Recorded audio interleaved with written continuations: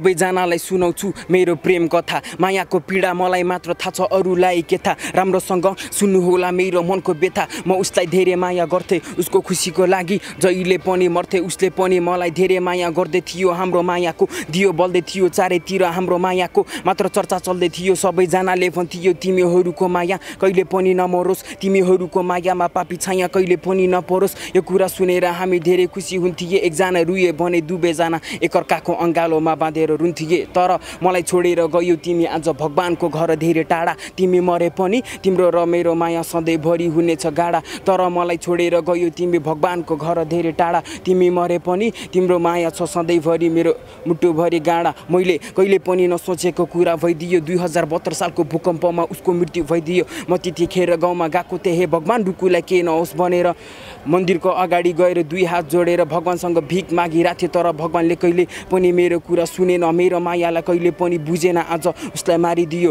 रुकु बिना यो ठुलो संसारमा एक्लो पारिदियो। आज उसको यादमा पागल भएको छु। उसलाई सम्झेर रुहिरहेको छु। मनको घाउहरू त्यही आँसुले नै धोइरहेको छु। दर्शकबिन आज हामीसँग हुनुहुन्छ एकजना ऱ्यापर भाइ हुनुहुन्छ जसले चाहिँ चार वर्षदेखि चाहिँ ऱ्याप हान्दै हुनुहुन्छ र जीवनमा यति सङ्घर्ष गर्नुभएको छ कि उहाँले चार वर्षदेखि नै उहाँ चाहिँ एक्लै हुनुहुन्छ। अहिलेसम्म पनि एक्लै हुनुहुन्छ र एक्लै भइकन पनि अरूकोमा काम गरेर भए पनि पढ्दै पनि हुनुहुन्छ। उहाँले ऱ्याप पनि हान्नु हान्नुहुन्छ र उहाँको अफिसियल च्यानल रुकु च्यानल पनि रहेको छ। पक्कै पनि उहाँले विभिन्न बिट बक्सहरू बनाउनुहुन्छ। उहाँको सङ्घर्ष र उहाँको ऱ्याप हामी सुन्छौँ आजलाई। उहाँलाई सर्वप्रथम स्वागत गर्न चाहन्छु। स्वागत छ हजुरलाई। धन्यवाद। तपाईँलाई मेरो नाम चाहिँ दिपक नेपाली एके रुखु होइन? म चाहिँ ललितपुर युवान पार्कमा बस्छु। पक्कै पनि तपाईँले धेरै सङ्घर्ष गर्नुभएको छ होइन? चार वर्षदेखि नै ऱ्याप हान्दै हुनुहुन्छ। खास तपाईँको फ्यामिलीको बारेमा थोरै बताइदिनुहोस् न। मेरो फ्यामिली चाहिँ यस्तो थियो क्या हुन्छ नि? मेरो बाउ चाहिँ एकदम ट्वाके थियो होइन? नखाएको बेलामा चाहिँ एकदम सोझो थियो। एक्सप्लेन गर्न नसक्ने थियो कि यो ट्वाके पनि यस्तो हुन्छ र भन्ने टाइपको थियो। तर रक्सी खाएपछि एकदम मम्मीलाई पिट्ने चाहिँ झगडा हुने अनि मम्मीको दिनकै झगडा हुने अनि बाउ चाहिँ जहिले नै थापथली पुलमुनि गएर सुत्दिने क्या। अनि म चाहिँ बच्चैदेखि हुन्छ नि मेरो मम्मी चाहिँ अरूको घरमा एउटा रेणु आन्टीको घरमा काम गर्नु बस्नुहुन्थ्यो क्या अनि म चाहिँ त्यहीँबाट हुर्केको होइन? त्यो घर र म सँगसँगै अहिले अठार अठार वर्ष समथिङ त्यस्तै भयो होइन? अनि त्यहीँ बसेर अनि हामीले त्यहीँ जीवन अहिले चलाइरहेको छ। अनि बाबाको चाहिँ दुई हजार एकहत्तर साल जेठ अट्ठाइस गते उहाँको निधन हुनुभयो होइन? अनि त्यतिखेर त्यतिखेर चाहिँ मेरो मम्मीले अर्कै बिहे गर्नु भइरहेको थियो। म चाहिँ अर्कै बाउसँग बसिरहेको थिएँ होइन? अनि त्यही थ्री क्लासमा पढ्दै थिएँ म त्यतिखेर। बाह्र वर्षको उमेर थियो होला मेरो।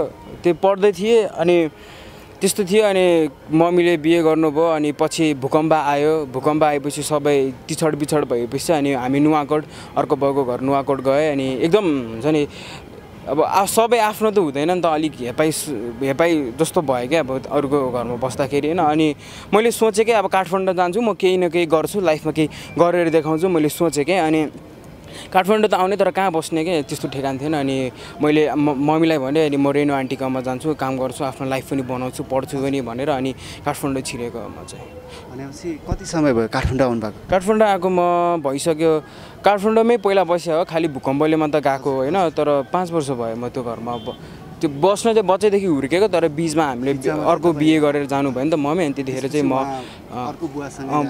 तिन वर्ष बसेर अनि फेरि म ब्याक भएर आएको अनि पाँच वर्ष अहिले भयो म्याक्सिमम् घरमा बसेको भनेपछि तपाईँको फ्यामिली प्रब्लमले गर्दाखेरि अब कहिले यता कहिले उता सधैँ सङ्घर्ष नै रह्यो। अहिले कस्तो छ अहिलेको अवस्था चाहिँ तपाईँको अहिलेको अवस्था त ठिकै छ अब काम पनि गर्दैछु हुन्छ नि काम गरेर पैसाहरू पनि कलेक्सन गर्दैछु गीतहरू पनि रेकर्डमै छ अब यो शुक्रबार फेरि रेकर्ड काभ्रे जाँदैछु साथीकोमा अनलाइनहरूकोमा होइन? अनि सबै त्यसरी नै चल्दैछ लाइफहरू। भनेपछि जीवनलाई राम्रोसँग बुझ्न नपाउँदा नै तपाईँले धेरै सङ्घर्ष गर्नु पऱ्यो जीवन। मलाई चाहिँ नबुझ्ने होइन कि जीवनलाई चाहिँ बच्चैदेखि बुझेर एकदम खुसी लाग्यो। किनकि बच्चैदेखि सङ्घर्ष गर्दाखेरि बुझेँ नि त अब लाइफमा यस्तो दुःख पर्दाखेरि यसरी झेल्नु पर्दो रहेछ भने मैले बुझेकै बच्चैदेखि। अब चाहिँ मलाई अबको दुई वर्षपछि चाहिँ होइन म यस्तो काम गर्नेवाला छु कि होइन? मेरो फ्यान्सहरूले नि एक्सपेक्ट गर्न नसकोस् कि बाफ्रे यसले त यस्तो गीत गाउँदो रहेछ है मेरो गीतलाई नि दसचोटि सुनोस् के? त्यस्तो बढ्न चा चाहिरहेको छ होइन?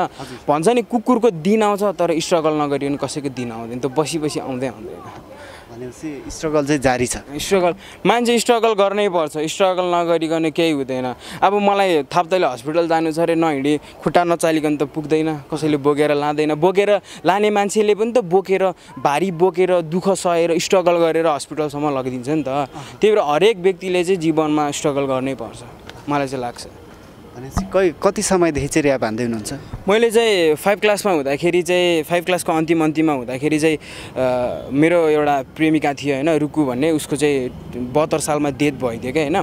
अनि डेथ भइदियो अनि उसको चाहिँ एउटा ड्रिम थियो गीत गाएर एकदम राम्रो मान्छे बन्ने एउटा सपना थियो क्या। अनि म चाहिँ त्यतिखेर ट्याटु हान्थेँ क्या। म पहिल्यैदेखि ट्याटु पनि गर्थेँ क्या। अनि ट्याटु म ट्याटु गर्दाखेरि एघार वर्षको थिएँ। एघार वर्षदेखि नै ट्याटु हान्नुहुन्थ्यो।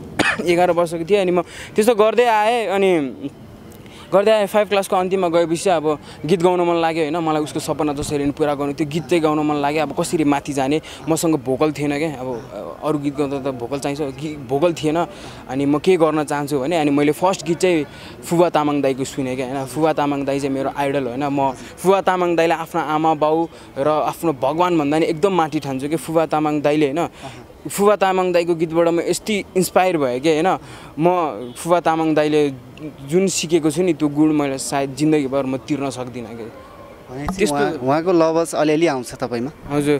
मेरो फ्लो लभ सङ फ्लो गऱ्यो लभ लभ सङ चाहिँ गऱ्यो भने फुवा दाईको फ्लो अलिक छुन खोज्छ अरू सङ गऱ्यो भने चाहिँ छुँदैन मेरो फ्लोहरू। म आफ्नै फ्लो निकाल्छु अरूमा चाहिँ। अनि ऱ्याप फिल फिल्डमा नै कसरी लाग्नुभयो नि तपाईँ? ऱ्याप फिल्ममा मैले भने नि उस मेरो प्रेमिकाको डेथ भयो अनि उसको ड्रिम पुरा गर्नको लागि मेरो भोकल थिएन। अब ऊ कहाँ मेलोडी बन्ने मान्छे? अब म मेलोडी मेलोडी सिट गीत गाउन सक्दैन थिएँ अनि ऱ्यापमा चाहिँ गरौँ है। किनकि rap is the reality freedom र त्यसमा भोकलको मतलब छैन होइन।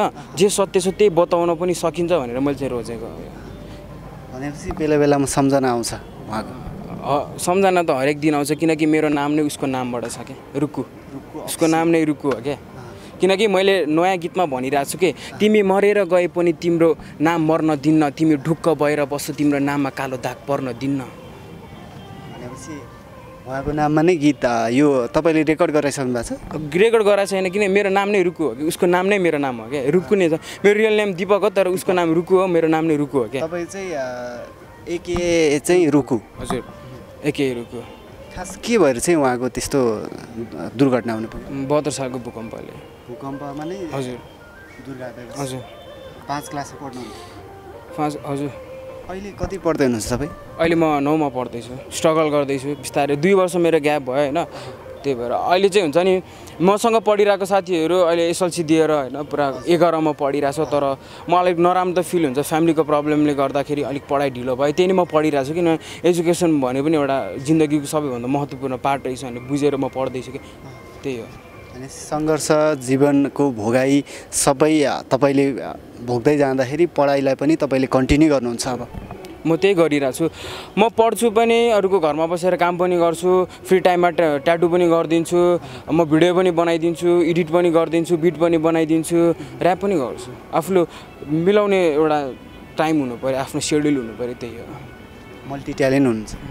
नभनौँ किन मल्टी ट्यालेन्ट भनेको हरेक व्यक्तिमा हुन्छ क्या एउटा बम बनाउने विग वैज्ञानिक हुन्थ्यो नि अल्मोस्टाइन हो कि के भन्ने होइन?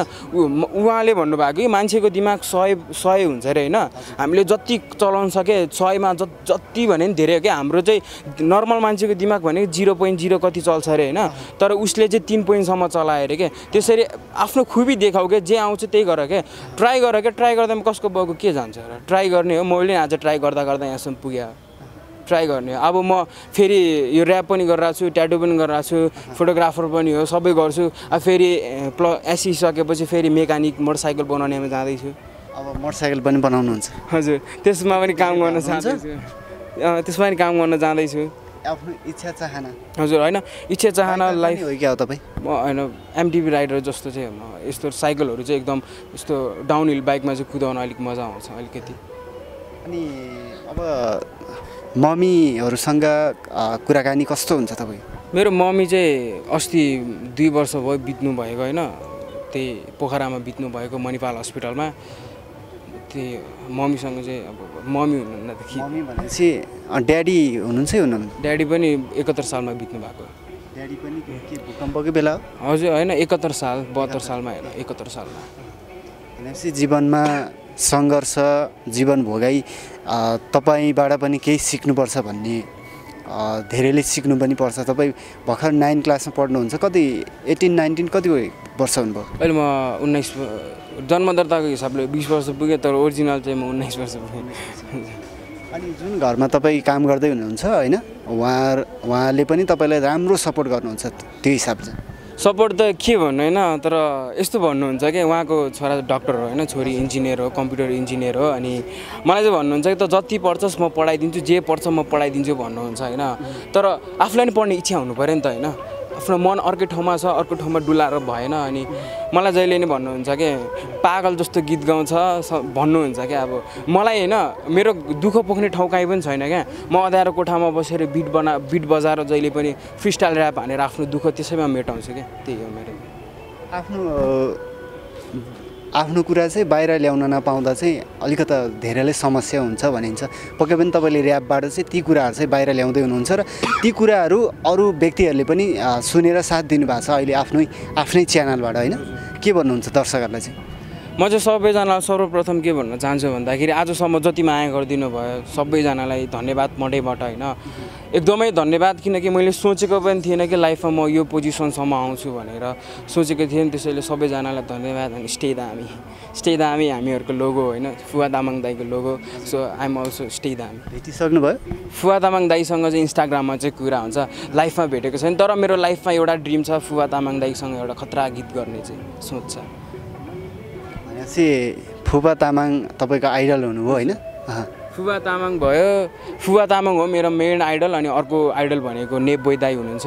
अनि अर्को नेपालमा चाहिँ दुईजना मात्र हो नेप बोई र अनि फुवा तामाङ हो। अनि इन्टरनेसनल हेर्नु पर्दाखेरि इन्डियाको एमी वे बन्टाई र अर्को हेर्नु पर्दा टाइगर र एक्स एक्सटेन्टेसियन पाँचवटा मात्र हो।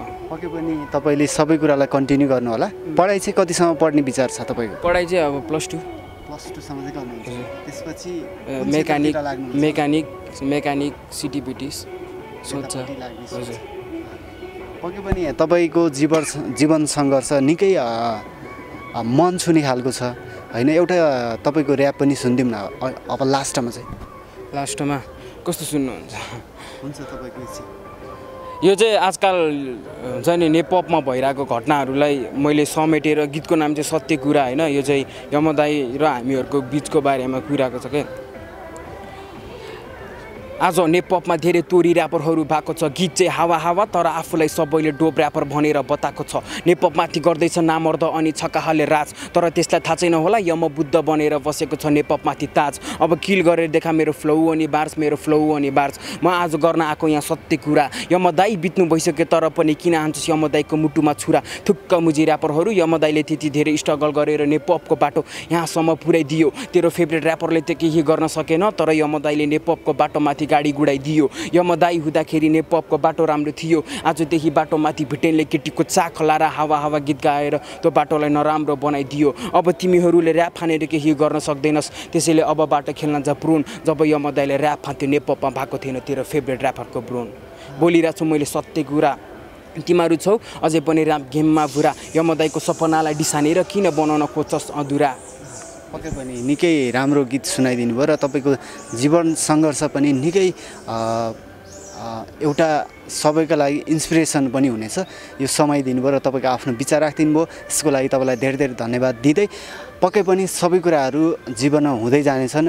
सबै कुरा गर्दै जानु होला नछोड्नु होला हार नखानु होला यति भन्दै हामी तपाईँसँग छुट्टिन्छौँ र सम्पूर्ण दर्शकहरूलाई पनि धेरै धेरै धन्यवाद दिँदै अहिले चाहिँ बिदा माग्छु। हस् तपाईँले समय दिनुभयो। धेरै धेरै धन्यवाद। धन्यवाद। Thank you